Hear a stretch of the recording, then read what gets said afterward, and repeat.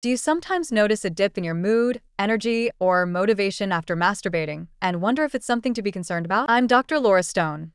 Let's start with what happens during orgasm. Whether it's through partnered intimacy or masturbation, the moment of climax sets off a cascade of chemical changes in the brain and body.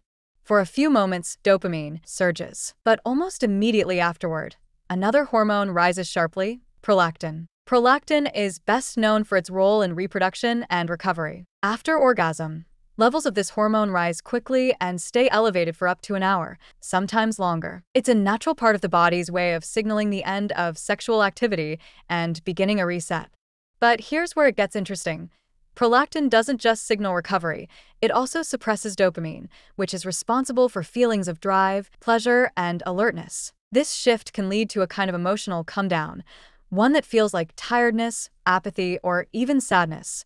And in older men, this drop may feel more noticeable because, with age, the body's ability to restore chemical balance becomes slower. So the post orgasm low can feel deeper or last longer than it did in younger years. This may explain why some men feel emotionally flat after self pleasure, even if nothing in their life or relationship has changed. It's not weakness. It's not something to be embarrassed about.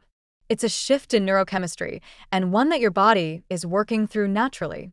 Still, there's more to the picture. For some men, this post orgasm dip goes beyond just biology. Years of cultural, religious, or personal conditioning around intimacy and self control can layer on feelings of guilt or shame. One of the most significant factors is something called post orgasmic dysphoria, or PCD.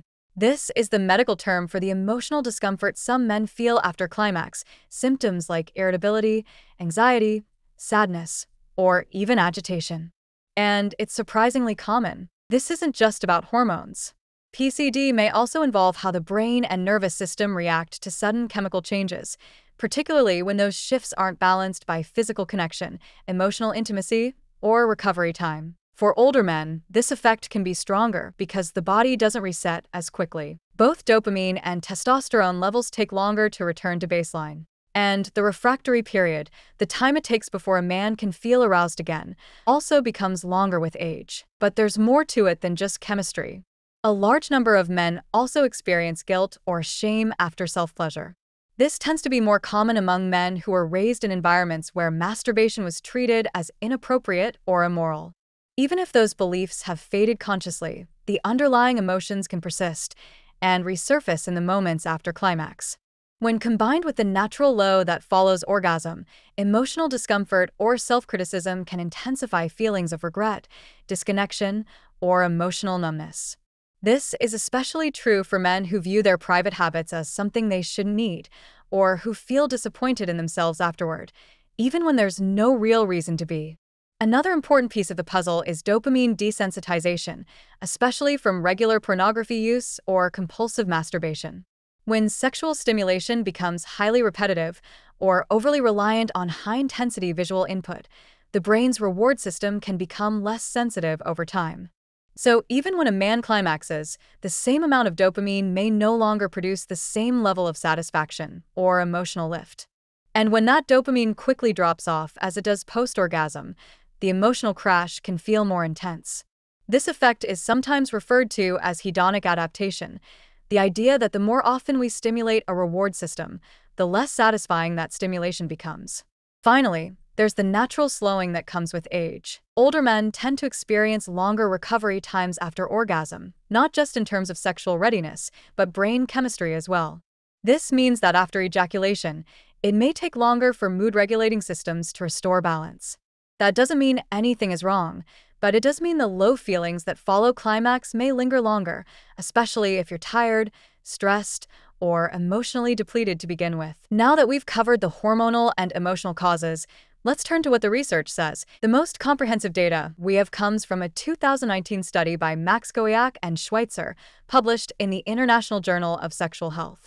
They surveyed hundreds of men about their post orgasm experiences and found that 41% of men had experienced emotional discomfort after orgasm at least once in their lives. 20% had felt that way within the past month. Men described feelings of sadness, irritability, anxiety, and even emotional detachment immediately after climax. But for some, emotional history also plays a role. Studies on sexual guilt and religious conditioning, particularly those looking at older male populations, have shown a clear association between shame around self pleasure and higher rates of depressive symptoms. In a 2018 review published in the Journal of Sex Research, men who held strong negative beliefs about masturbation were more likely to experience both guilt and low mood after climax. And while beliefs alone don't change chemistry, the emotional overlay can shape how those chemical changes are experienced. Now, while most emotional symptoms after climax are temporary and benign, there is a rare condition worth discussing, especially for men whose symptoms last several days or include physical discomfort. It's called post-orgasmic illness syndrome, POS.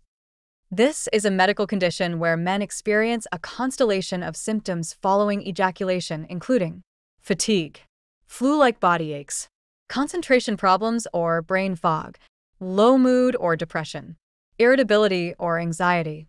In some cases, even sinus congestion or muscle pain.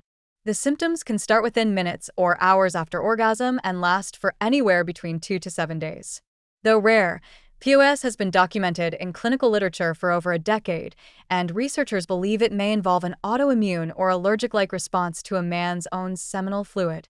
And while there's no universally accepted treatment yet, options such as antihistamines, SSRIs, or hormone modulation have shown benefit in some case reports. So let's go over what you can do to manage, reduce, or even prevent these post orgasm mood dips. 1. Normalize the experience. First and foremost, understand that occasional low mood after climax is not abnormal, primarily the shift in hormones like prolactin and dopamine. When you can name what's happening, it's much easier to move through it calmly. Feeling a little emotionally off after orgasm doesn't mean you're depressed or doing anything wrong. It means your body is resetting and your nervous system is asking for a bit of time to recalibrate. 2. Pay attention to frequency and patterns. If you're noticing a regular cycle of feeling emotionally low after self pleasure, it may be helpful to adjust how often you engage in it. This isn't about abstaining or avoiding pleasure, it's about giving your brain and body a chance to fully recover between sessions. Spacing out the frequency can often reduce the intensity of the crash. Many men also find that when they're more intentional, rather than automatic, about their private habits, they feel more in control afterward and less emotionally drained. 3. Limit overstimulation from pornography.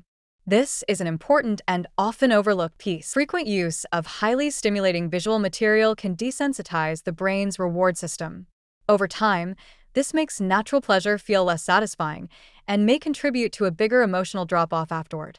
If this resonates with you, consider taking a short break from visual stimulation and focusing instead on slower, more connected forms of pleasure, or even just stepping back for a few days.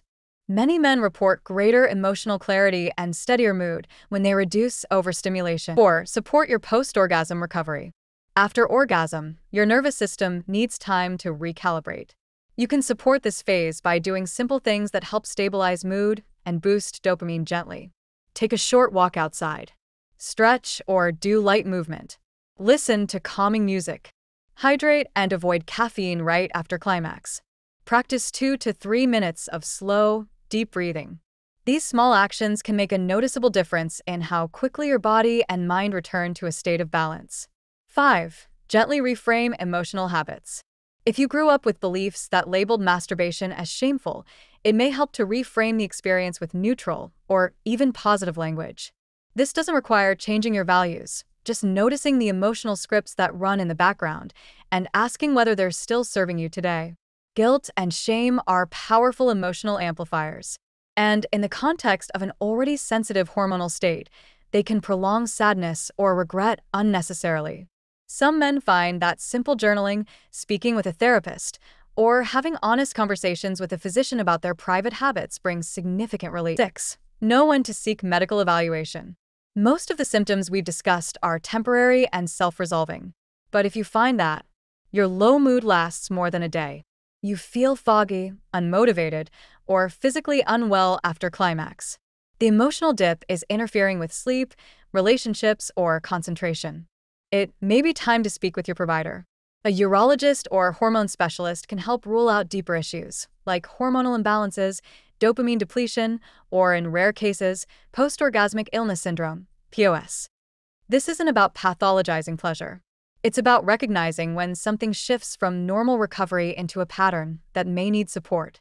And if you've had these concerns but haven't known how to bring them up with your doctor, you're not alone. This is one of the most common private topics men bring up once trust is established. Know that these conversations are safe, valid, and increasingly common in men's health. If you found this helpful, consider subscribing for more evidence based guidance on men's health, aging, and hormone balance. And always remember all information provided in this video and channel is for educational and informational purposes only. Always consult a medical professional about your specific circumstances and before making any changes to your lifestyle, diet, supplements, or medication. It's not common, but it is real. And the sooner it's evaluated, the sooner you can get relief or rule it out.